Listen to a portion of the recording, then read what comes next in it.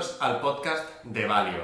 Hoy tenemos a mi colaborador y socio Sergi y a una persona muy especial, a Carlos. Hemos estado hablando un poco antes de la entrevista y ha sido muy interesante las cosas que me ha contado. La verdad es que vais a alucinar bastante con Carlos, pero por favor, introdúcete a ti mismo.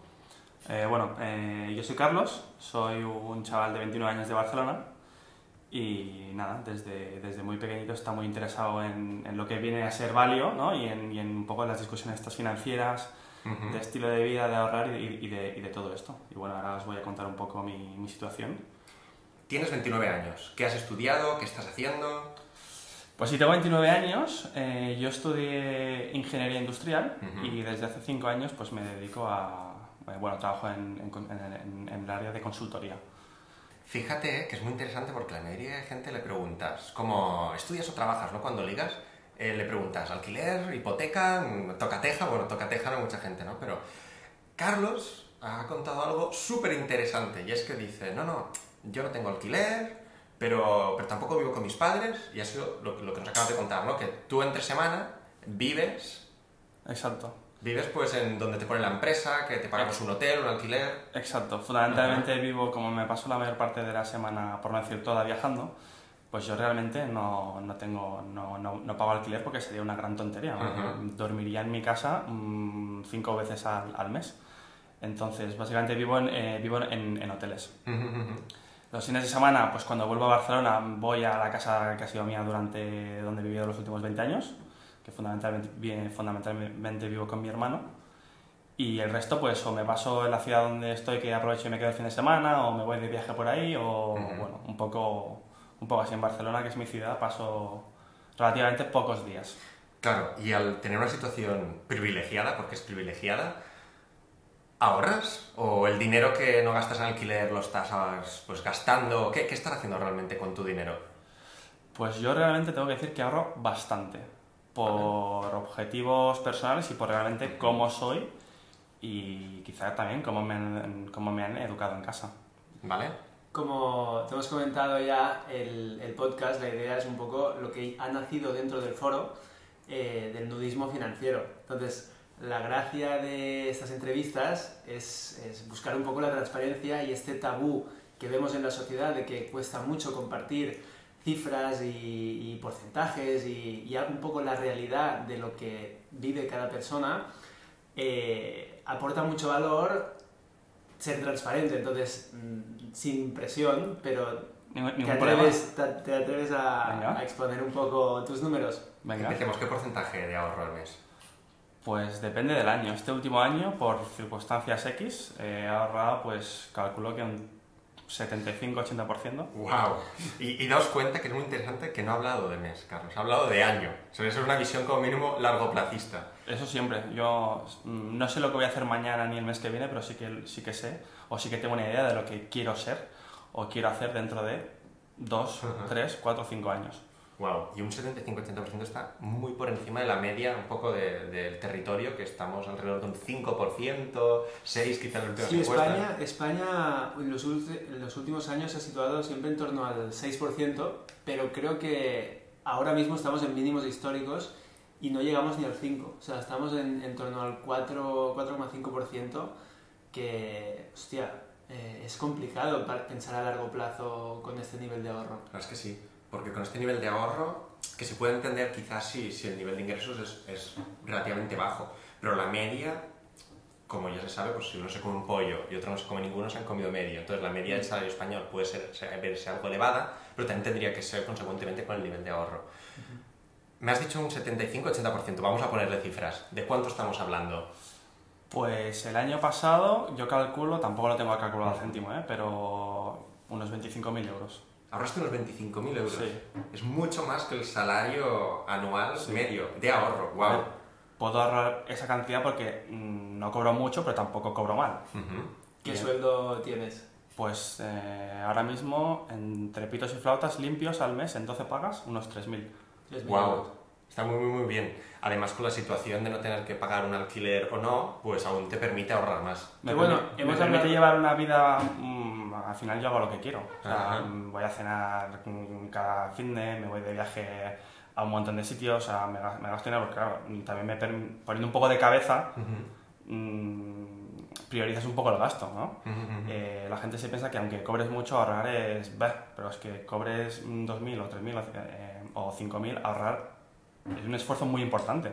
Sobre todo si tú tienes unos objetivos a largo plazo, que es, pues en los míos no los tengo súper definidos, ¿no? Pero si en dos años me quiero comprar una casa o un piso y tengo que meter una entrada, pues... mm, es que ahora es el momento de ahorrar. Cuando tengas mujer o marido y dos hijos y casa y coche, es que no, no vas a poder ahorrar. Entonces, mm, mi filosofía desde que empecé a trabajar ha sido esa.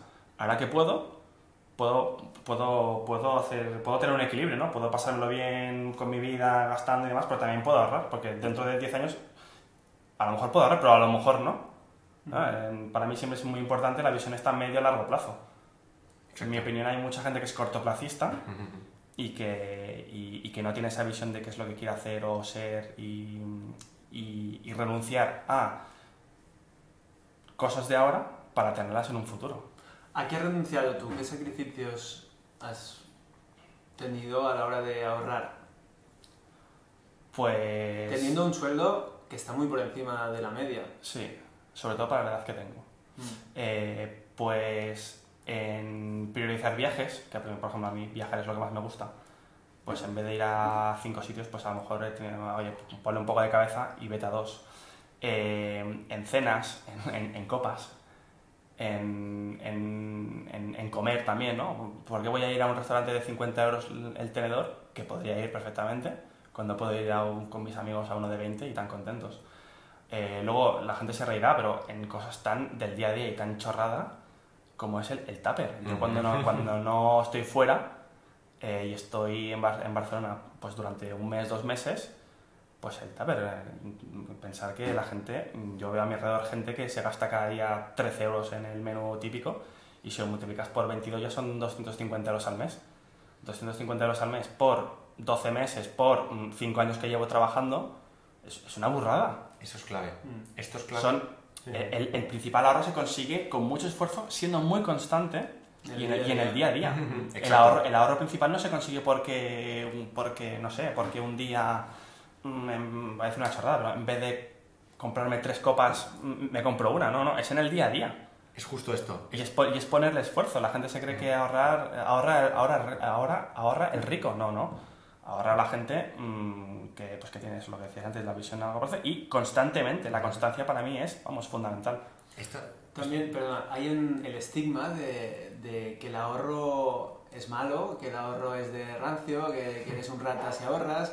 Y, justo esto que dices de, pues tú precisamente te podrías permitir perfectamente ir a comer cada día fuera y, llegas con el tupper. Entonces, a menudo eh, la gente te fuerza y te, te lleva a cambiar tus, tus hábitos hacia el no ahorro. O sea, si la gente sabe que cobras bien y apareces con un tupper, la gente te mira mal y te, y te, y te, te acribillan en plan... 100%, 100%, sí, sí. Os 100%. prometo que no estaba preparado, pero es la filosofía de Carlos, es la filosofía que siempre hemos promovido desde Valio, que es, muchas veces el ahorro no tiene que suponer tener una mala vida o estar viviendo no a gusto, porque entonces no vas a estar 10, 15, 20 años o no se va a convertir en tu filosofía de vida, en algún momento petarás. Y Carlos lo dice, vive muy bien, él está contento con su vida, pero se fija en los pequeños gastos, que al final es, y, de aquí viene, ¿no? El ser una hormiguita es, en el día a día, no es ese fin de semana que te haces las copas, es en el día a día donde te estás arruinando, donde no estás ahorrando. 100%. Y para mí el principal error es, bueno, ah, bueno, esto, bueno, dos euros más. Bueno, dos euros más una vez, va. Sí, pero es que esos dos euros más, o esos cinco euros más, o esos 10 euros más de gasto mm, diariamente o semanalmente, al final acaba siendo una bola enorme. El principal, el principal ahorro está en el día a día y en el esfuerzo diario y en la constancia diaria. Entonces, digamos que la distribución de tus gastos, intentas que entre semana, pues si haces tupper y todo, se distribuye más hacia los fines de semana, entiendo, en tu momento más de ocio.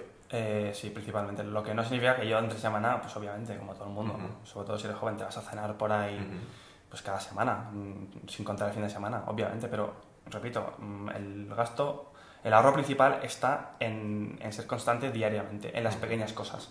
Vale, entendido. Una cosa que hemos hablado de, de la situación privilegiada de, de, Carlos, el tema de no pagar alquiler, eh, desde un punto de vista económico sí que es un privilegio, pero ¿cómo lo vives tú? Porque igual que, igual que es una situación anómala el no pagar alquiler, también es anómalo no tener un sitio fijo y estar todo el día viajando y viviendo en hoteles y no tener tu espacio.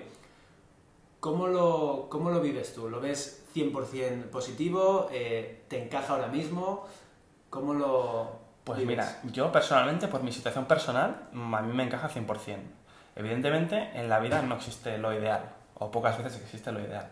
Pues mi situación, mm, para mí, porque soy joven, no tengo nada que me ate a mi ciudad, eh, un, eh, no sé, una mujer o un perro o lo, o lo que sea, eh, hijos, no, no, tengo nada de esto, entonces a mí me encaja perfectamente. Como repito, repito, lo ideal no existe. Yo no tengo un sitio fijo, yo me paso con una maleta, o sea, mi vida es llevar, arrastrar una maleta, uh -huh. ir de aquí para allá, vivo, o sea, estoy más en el aeropuerto de Barcelona que en, que en, que en Barcelona mismo. Entonces, idealmente, para mí, ahora con mi edad sí que lo es. Pero yo asumo que en cinco años, pues que las cosas no sean... Vale.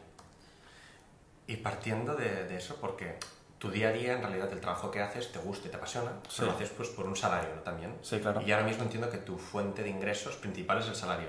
100%. Y es la, es única la, y exclusivamente. Es la única y exclusivamente. El salario, sí. Vale. Esto es muy interesante porque también una de las filosofías que promovemos es que entendemos que la mayoría de personas al principio será su fuente al menos primordial de, de ingresos, pero con el tiempo poder ir teniendo otras fuentes de, de ingresos. Sí. No sé si eso lo has planteado, si tienes alguna estrategia a pensar sobre eso. Eh, lo he pensado muchas veces, lo que pasa es que es difícil. Uh -huh. Porque ¿qué alternativas tengo, tengo yo? Yo al final, al fin y al cabo, soy un asalariado puro y duro. Uh -huh. Gané mil, dos mil o tres mil. Entonces es difícil obtener o, o, tener otras fuentes de ingreso. Uh -huh. Las que se me ocurren, oye, pues mm, invertir en, en, productos financieros, fondos y lo que sea, y ir consiguiendo un rendimiento. El principal handicap que le veo yo a esto es que eh, para una persona, digamos, mm, que esté en la media, es, es, es difícil. Uh -huh. Yo no sé las estadísticas que habrá ahora, pero yo creo que la mayoría de gente, a nivel de esto, no sé si, no sé si ganan dinero. A ver, se ve una tendencia muy clara en Estados Unidos a nivel de la gig economy, que es, que es tener varias fuentes de ingresos o tener tu fuente principal, tu sueldo, y luego ir haciendo, ir buscando eh, otras alternativas que te permitan ir ingresando un poco más. Aquí en España y en el resto de Europa mm, no es tan común, pero sí que se ve una tendencia clara eh, con la gig economy. Claro. Una cosa interesante que, que comentas, Carlos, es que, por ejemplo, dices, yo no tengo que ser especialista en la bolsa ni entender mis inversiones, entonces quizás es posible que al final a largo plazo esté perdiendo dinero. Esto es una experiencia que si hablamos a nivel general, sí que la gente tiene la percepción de que pues, la bolsa al final puedes, puedes perder dinero o que se pierde la mayoría de veces.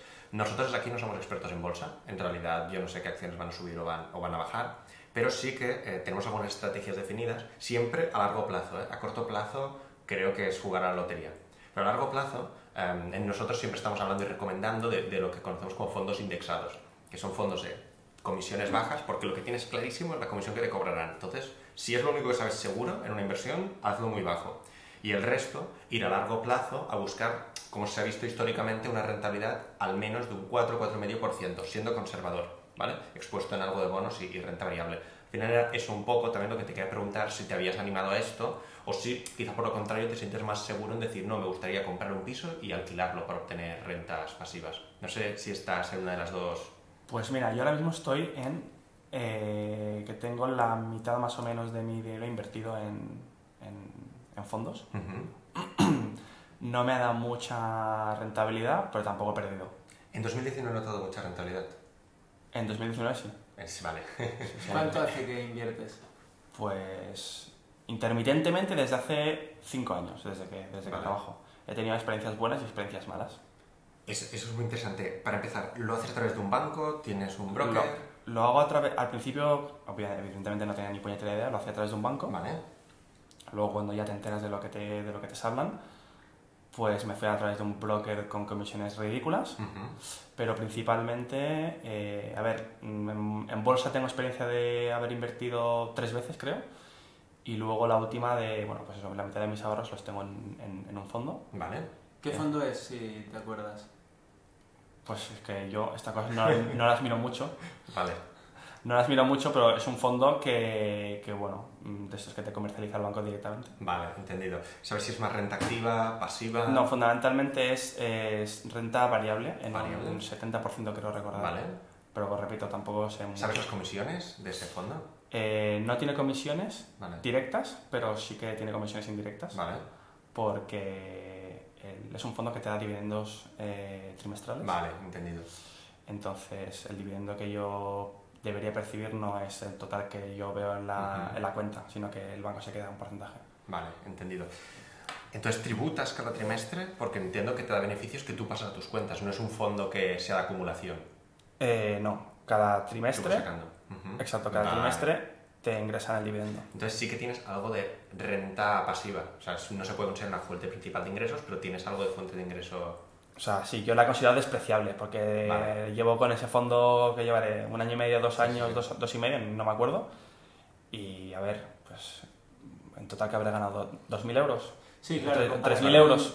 Claro, en comparación a tu sueldo mm, no es nada. No. Pero sí que es una fuente de ingresos que si te esfuerzas en eh, seguir invirtiendo se podría convertir. No, de hecho yo, en, yo, aunque sea despreciable hablando así llanamente, yo sí que la contemplo en mis en tu planificación. En mi planificación financiera, que luego si queréis hablamos. Eh, de a largo plazo sí que la tengo ahí metida, ¿no? En, los famosos Excels que la gente se hace, ¿no? Yo sí, que ahí tengo esa parte introducida. No tenemos el privilegio siempre de conocer gente que le guste mucho trastear el Excel y lo domine. O sea, muchas personas les puede gustar, pero luego sienten algo, les, les hace tedioso poder estar calculando, haciendo Excels y todo que ya te digo, o sea, eres el caso perfecto y parece que esto, que esto esté buscado y no, ¿eh? no está buscado. Yo, de, hecho, sin exagerar, eh, yo empecé a trabajar hace cinco años aproximadamente, pues yo mi primer, me acuerdo perfectamente, mi primer fin de semana me pasé media tarde eh, haciéndome un Excel. Un Excel guarro de estos de, andar por casa, que luego con, lo vas perfeccionando y demás. Pero desde mi primer fin de semana de asalariado dije, aquí hay que hacer un plan a largo plazo porque yo ahora ingreso 1.500, pero yo quiero, pues es un plan a largo, plazo. No puede ser que yo cobre 1.500 y que se me vayan mensualmente 1.500 en mis caprichos y en mis, historias, porque lo, lo, lo, difícil que es que entre un, euro a tu cuenta y luego lo fácil que es que salgan 14 euros. Bueno, Carlos nos ha dicho cómo empezó, ya se están los 1.500, o sea que enhorabuena por haber doblado ya tu ingreso principal. En 5 años. En 5 años. Eh, estaría bien que nos dijeras... Currando mucho, ¿eh? tengo que decir. La gente, la, gente, la, gente, la gente cree... Constancia... La gente cree que el dinero cae del cielo y que mira este, qué listillo, qué tal. Pero lo que he trabajado yo, vamos...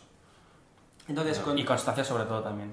Con estos 1.500 que empezaste cobrando, ¿cómo, ¿cómo, se distribuían tus gastos principales? ¿Dónde iba tu dinero? Cuando ya empezaste a planificar y a, y a medir un poco y controlar, administrar tu dinero, ¿dónde se iba principalmente tu gasto y si ha cambiado a lo largo del tiempo? Pues mira, principalmente yo creo que básicamente no, no ha cambiado mucho, ¿eh? Ha cambiado, eh, lo, o sea, no ha cambiado lo que es la distribución, la cantidad, obviamente sí. Mm. Eh, la distribución yo diría que básicamente lo que fundamentalmente yo me gasto es en, ocio, en el sentido amplio de la palabra, y luego sobre todo en viajes porque yo tengo claro que, aun siendo constante y siendo una hormiguita, eh, las grandes pasiones, si te lo puedes permitir, que para eso está vivir, ¿no? Y entonces yo, mi gran pasión es viajar. Y ahí sí que no, digamos que no me gasto mucho dinero, pero tampoco escatimo en gastos. No voy tan a mirar, mm, ostras, si, si, estoy viajando no voy a un restaurante de 10 euros en vez de ir a uno de 13 porque así me ahorro 3 euros. No, oye, estoy viajando, estoy disfrutando, es lo que más me apasiona. Oye, pues mira, o sea, tampoco me paso por ocio, tampoco me paso viajando todo el año, ¿sabes?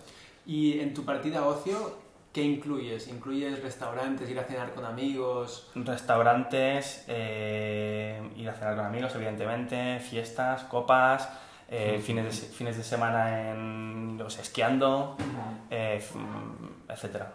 Luego tengo otra partida, que es otra partida diferenciada, porque es muy importante, que es la partida de viajes, que digo yo, que es ahí incluye pues mi viaje de verano que me voy pues tres semanas a, a Malasia o me voy una escapada de fin de semana en, en primavera, pues me voy yo sea a Viena, eh, lo que sea. Esa es otra parte. Mis dos partes principales son estas, ocio y viajes. Muy, muy interesante.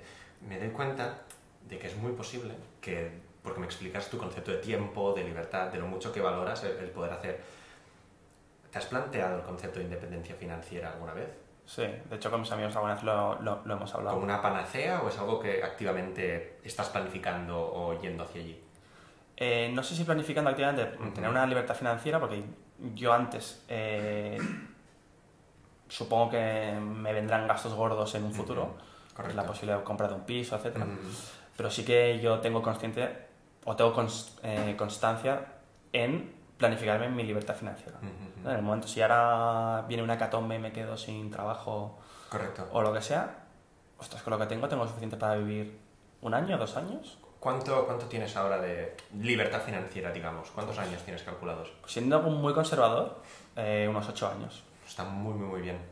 Está Sí, muy bien. unos ocho años. Para, para también los que nos escuchan, nuestro concepto de libertad financiera sería, por definición, que con tu patrimonio y rendimientos pudieras vivir el resto de tu vida de una, de una media, pues pongamos hasta los 90 años, ¿vale? Eh, sin tener que volver a ingresar dinero. Este sería el concepto. Sé que este de manera activa. O sea, puedes tener ingresos pasivos, Exacto. pero que no requieran tu tiempo y tu esfuerzo Exacto. para generar ese ingreso. Que, que al final hicieras lo que quisieras con tu tiempo, fuera lucrativo o no. O sea, es un concepto com- complicado. eso- ahí me he referido yo Ajá. también. Exacto, es un concepto, eh, es complicado de, conseguir, pero está claro que son 29 años, tienes 8 años de libertad financiera, a no ser que, bueno, que pues en el futuro pues te metas en una serie de, activos o pasivos que, te comieran ese rendimiento, es algo que antes de lo que tenemos, tenemos por sociedad establecido que nos tenemos que retirar o ser libres a partir de los 60, y no sé, 67 y quizá en- en breves en 70, ¿no? Pero al final creemos que cada uno se tendría que retirar o ser libre cuando considerara por su planificación. Por ejemplo, si te compras ahora un coche, quizá pierdes 5 años de libertad financiera, ¿sabes? Y la pregunta es, eh, ¿cinco años de tu vida valían ese coche? Yo creo que es la pregunta que, que nos hemos hacer muchas veces. Has puesto el ejemplo para mí primordial, que es, eh, si me preguntas en dónde, qué, es, qué es lo que, último que me compraría en mi vida, yo te diría que un coche. Ujú. ¿Pero te gustan los, es- ¿te gustan los coches o es un tema de independencia financiera y de finanzas? Es un tema de finanzas, porque a mí los coches, antes lo hablamos, es mm, ¿no? mi lista es tercera o cuarta cosa que más me gustan desde, desde pequeño. Me encantan, me sé todos los modelos. Me encantaría comprarme, pues yo qué sé, un Audi A5. Me encantaría. Pero es lo, pero es lo último que es lo último que haría y solo lo haría por, por, por necesidad. Solo, solo lo haría por necesidad. Y pudi- y aun pudiéndome comprar un, por poner el ejemplo, ¿eh? Sí, sí. un coche eh, de 50.000 euros, aun pudiéndomelo comprar, nunca me lo compraría. Es, es una manera muy inteligente de verlo, sobre todo porque, como sabemos, el tema de los vehículos pues, es un activo que se deprecia y que además eh, tiene una serie de gastos incluidos fijos, lo cojas o no lo cojas. Al final, muchas veces estamos yendo hacia una sociedad eh, de pagar por uso, ¿no? más que de, de tenencia, y esto está notando y al final, si eres alguien que le gusta viajar y ese concepto de libertad, es muy posible que todo vaya, vaya atado. 100%. No sé si habrán espectadores que sientan identificados con Carlos o que quieran ser un, un Carlos en el futuro, tengas, tengan la edad que tengan, ¿eh? Y ahora viene una pregunta que todos veníamos esperando y que si llevas pues 20 minutos escuchándonos, tendrías ganas de saber y es, ¿qué patrimonio tienes ahora? Pues ahora tengo eh, unos 90. 90. ¿90 tirando a 100 o 90...? 90.000 tirando 90.000. Pero entonces entendemos que acabarás eh, este inicio de década, bueno, inicia, algunos dicen que se inicia en el 21, ¿no? Pero acabarás este año ya con más de, de 100.000. Sí, sí, sí, lo superaré con creces. Eso es muy interesante porque muchas veces nosotros lo hemos hablado en nuestro, nuestro podcast, en nuestro día a día, que es una cifra mágica, ¿no? que algunos, algunas personas entendidas del tema dicen que a partir de esta cifra los intereses que puedes obtener en la inversión de la misma pueden empezar a ser relevantes en tu cómputo asalarial anual. Por ejemplo, si, si de 100.000, pues este año ha sido excepcional, ¿no? este año en bolsa indexada el SP 500 ha estado pues, rozando el 30% de la rentabilidad. Esto es un crash a la inversa. No podemos coger este año como, como una medida. Pero también compensa un poco 2018, que Sí, fue un año correcto. bastante lamentable y que muchos fondos se pegaron una buena hostia. Correcto. Entonces, ¿Es el caso del tuyo? Eh, un poco sí. Para que os voy a mentir, sí. Y en 2018 me pegó una buena hostia. Eso, también, eso es una cosa de las que he aprendido en referencia a lo que habíamos comentado antes de si invertía, ¿no? Sí, Yo sí. tuve un- experiencias buenas y malas en bolsa. En una, pues en una... Mi primera experiencia en bolsa fue que metí, quiero recordar, 10.000 euros en, en Gamesa y al, al mes o a los dos meses pues saqué un 20% de, de rentabilidad y dije pues lo vendo. Y en dos meses gané 2.000 euros. Brutal. Eso es un poco como el casino, ¿no? Sí. Yo sin- siendo un analfabeto funcional en este sentido, dije, guau, qué bien, ¿no? Qué fácil es. Qué fácil es. A- coño". Ahora me voy a forrar, voy a seguir así, ¿no? Claro. ¿Qué pasa? Que, perdón, pues al cabo de un año metí otros 10.000, en no sé, no me acuerdo qué, y llegué a perder, eh, no perdí mucho, pero llegué a perder creo, entre 600 y, y, y 1.000 euros, o sea, entre un 6 y un, y un- y un Mm. 10. Y lo que he aprendido es que mm, la bolsa, las emociones juegan un papel importante, pero deben o deberían de jugar menos papel del que juegan. Y, y- y digo porque a mí yo perdí un 6, un 10, un- entre un 6 y un 10% porque me entró el pánico. Vi que de 10.000 pues tenía 9.000 y digo, Buah, mm, lo vendo, mm, ya está, prefiero perder 1.000 ahora que no 2.000 mañana. Ujú. Al mes, si, si hubiera esperado a los dos meses, pues en vez de menos 1.000 hubiera tenido más 1.000. Ujú. Y es un poco lo que me pasó en 2018. Yo, mm, yo tenía metidos 50.000 euros en varios sitios y de 50.000 creo que llegué a estar en 45. Ujú. Y claro, yo estaba hace un año en plan, ostras, pues estoy currando aquí como un salvaje para que luego intentar sacar algo de partido para que la inflación no se me coma mi dinero y demás. Pum, y resulta que, que pierdo 5.000. ¿Y aguantaste? Ah, y, y aguanté. Aguantaste. Menos mal. Y ahora estoy en más 2, más 2.000. M- Menos mal, la verdad, menos mal. Sí. Al final es por lo que decimos lo de largo plazo. Si tus fondos, que al final no, no sabemos qué fondos son, pero si tienen unas comisiones razonables, a largo plazo siempre obtendrás una rentabilidad mejor. Si necesitaras ese dinero ya a día de hoy, no lo tendrías que haber puesto en fondos. Bueno, eso, eso es premisa básica. O sea, mm, yo meto dinero en donde meto dinero porque no necesito a corto plazo ese dinero. Correcto. Otra, otra cosa sería suicidarse. O sea, si yo tengo expectativas de que me voy a comprar una casa o me voy a tener que meter en un alquiler o algo en dos meses, yo no pongo 10.000 euros en un fondo si lo voy a necesitar dentro de dos meses. Ujú. Porque ese es el concepto que hablamos de colchón financiero. ¿Cuántos meses calculas que tienes de dinero en una cuenta accesible? ¿Tres meses, seis meses de salario? ¿Tienes este cálculo hecho? Eh, líquido, puramente Sí, sí, líquido. que líquido en podrías una cuenta retirar. que pudieras cogerlo sin, sin que ocurriera nada. pues unos 40.000. ¿40.000? Sí. Wow. Wow, porque teniendo en cuenta que tu nivel de gasto es relativamente bajo, Sí. quizá para nuestro gusto, a no ser que tengas algo, pensado a, medio o corto plazo con ese dinero, quizá deberías estar más invertido. No te digo que, que elegieras acciones de bolsa, eh, esto nosotros no creemos, pero quizás sí en fondos que estuvieran diversificados incluso en bonos o a más largo plazo. 100% de acuerdo, lo que pasa que mi perfil de riesgo es el que es. Vale. que mm, a mí el, el riesgo ¿no? de poder perder, a ¿no? el riesgo de, o Sí. sea, voy a perder, o la expectativa de poder ganar 1.000, 2.000, 3.000, 5.000 euros, no me merece la pena Ujú. para el sufrimiento, entre comillas, diario de Correcto. sube 5 euros, baja 5 euros. Claro. Entonces, Sí, al final hay un, un test que dicen que es de los mejores, que es el test de, de cómo duermes por las noches. Correcto. Entonces, sí. 100%, 100%. A mí no me compensa estar yéndome a dormir cada día o casi cada día empezando, Claro. jolín, he perdido hoy 100 euros. Joder, qué putada. No, no, No es, imposible, así no se vive.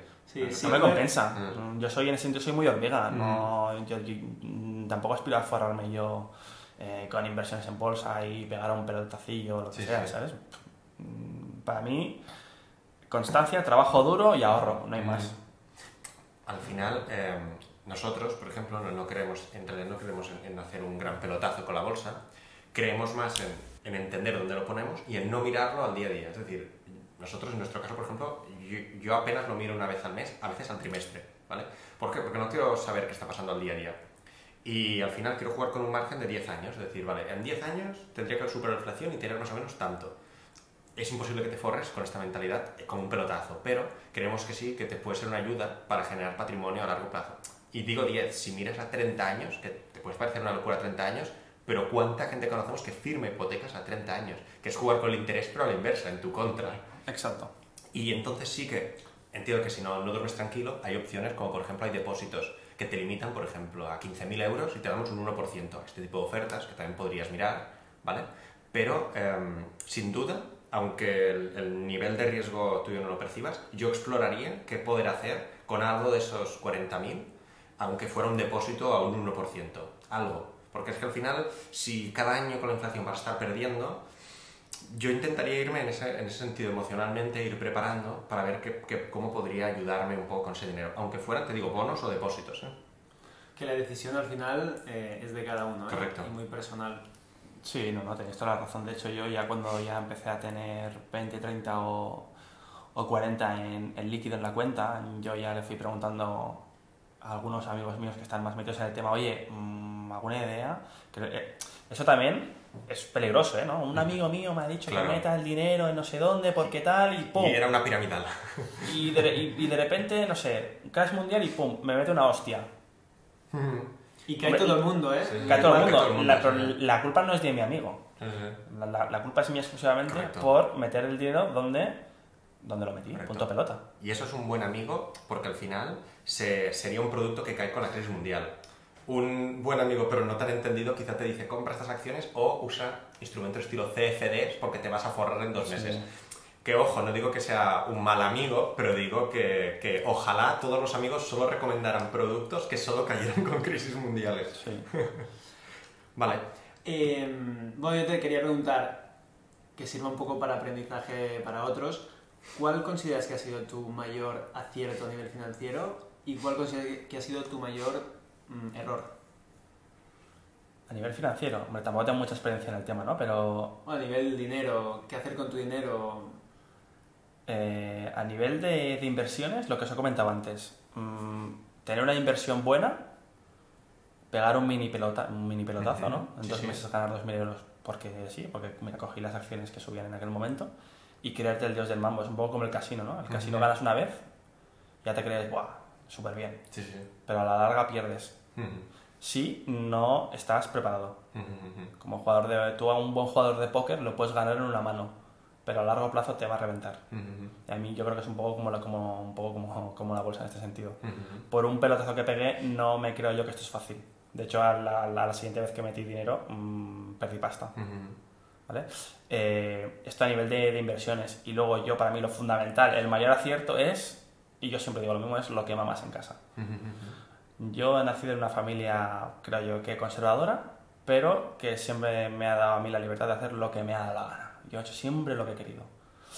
Eh, conservadora en el sentido de, en mi cabeza, ay, en mi cabeza, perdón, en mi, en mi casa había mucha cabeza siempre. ¿vale? Yo considero que, por ejemplo, mis padres, para el nivel de vida que podrían haber llevado, han sido muy austeros. Ujú. Y, así es y esto es lo que me han transmitido. Si con esto ya vas bien, ¿por qué necesitas gastarte más para tener, mm, no sé, lo, lo típico, ¿no? Un, un mejor coche que tu vecino. Claro. O un mejor no sé qué que el vecino del quinto. Y en ese sentido yo lo que mamo en casa es vivir bien, con, con mis comodidades, pero sin alardear de nada y sin y llevar una vida bien, pero sin, sin llamar la atención Ujú. que el- sobre todo antes de la crisis yo tengo muchas historias de antes de, antes de la crisis sobre todo de, de, de gente de a mi alrededor pues que llevaba un nivel de vida estratosférico en comparación con lo que a mí me podía parecer normal y mi madre me decía no te preocupes que la gente que haga lo que quiera nosotros somos así y, y vamos a ponerle cabeza y vamos a llevar una vida normal por lo que pueda pasar Ujú. y ironías del destino, pues vino la crisis y a mucha de esa gente, ¿no? Y eh, seguro que aquí os sentís identificados, no, igual no por vosotros, sino por, por conocidos vuestros, de que le- les llegó a pasar un poco. Si las épocas buenas es cuando hay que ahorrar. Correcto. En las épocas buenas es cuando hay que ahorrar. Y mirar siempre a largo plazo. Eh, mirar eh, qué pueda pasar en mañana. Tú nunca sabes lo que va a pasar mañana. Había gente que jamás hubiera pensado que hubiera perdido el trabajo. Jamás lo hubiera pensado. Y una pareja que ganaba 2.000 el marido y 2.000 la mujer y llevaban una muy buena vida. Entonces nunca sabes lo que va a pasar. Y el- yo, mi filosofía es, como yo nunca sé lo que va a pasar mañana, yo tengo que estar preparado. Y yo, y yo ahorro por esto, básicamente. Correcto. Esto es un acierto total y una filosofía increíble, que al final es la que te hace estar tranquilo, poder disfrutar de tus viajes de tu tiempo. me permite, me, permite hacer lo que yo quiero con mi dinero, lo que más me gusta, con un poco de cabeza, como es viajar o salir o, o irme a esquiar o lo que sea, pero a la vez mirando siempre a largo plazo, que para mí es lo fundamental. Constancia y largo plazo. Qué bueno. Y entrando entonces en lo que estábamos comentando, vamos a hacer el resumen de todo lo que nos ha contado Carlos. Y es, Carlos tiene 29 años. Sí. Ahorrados y de patrimonio 90.000. Creciendo, claro. Es- le entra en la cuenta unos 3.000 cada mes. Es ingeniero, es decir, ha tenido unos buenos estudios y además ahora es consultor en una multinacional. Y al final Carlos nos ha contado que lo que más le gusta, donde se va la mayoría de, de su dinero, es en ocio, en viajes y que ha hecho sus primeros pinitos en inversiones, ¿no? Como has dicho, algo de, Efectivamente. algo de renta activa que ha intentado, algo de fondos. Este es el perfil de Carlos y la verdad es que nos ha encantado tenerlo aquí con nosotros. Muchas gracias Sergi y como siempre nos vemos en el podcast de Valio. Un saludo a toda la comunidad.